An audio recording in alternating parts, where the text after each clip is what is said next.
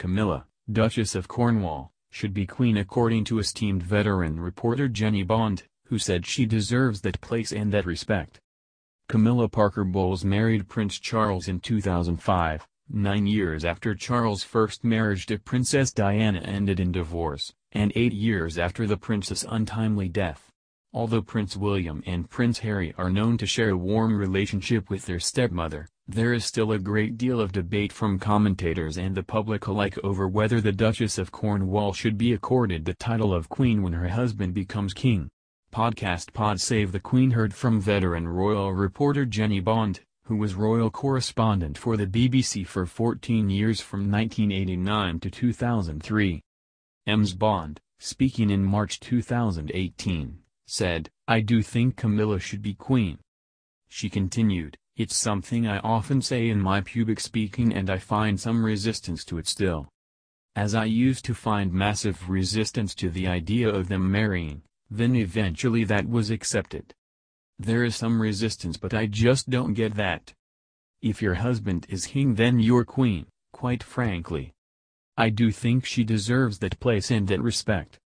Ms. Bond added, I always say, how many of us have made a cock-up of our private lives? Is this couple to be punished forever for having made a mess of their own first marriages? I think she should be queen when he becomes king.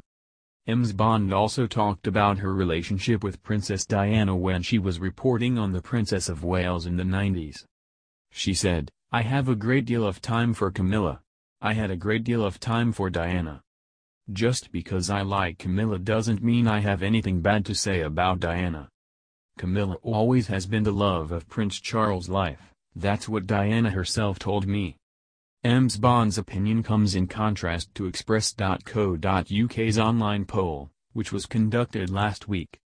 The poll found that more than 55% of the 7,620 people who took part believe the Prince of Wales's wife should not be granted the title of Queen. Around half, 54.2%, of participants believe the Prince of Wales's wife should retain her current title instead. Less than a quarter, 24%, think Camilla should become queen consort while just 11.9% supported her becoming queen. Only 9.7% support a title of princess consort. Before Charles and Camilla's wedding in 2005, Clarence House announced that she would eventually be known as princess consort, rather than queen, when and if the Prince of Wales ascends to the throne. Legally Camilla is allowed the use of the title Princess of Wales, as she is married to the Prince of Wales.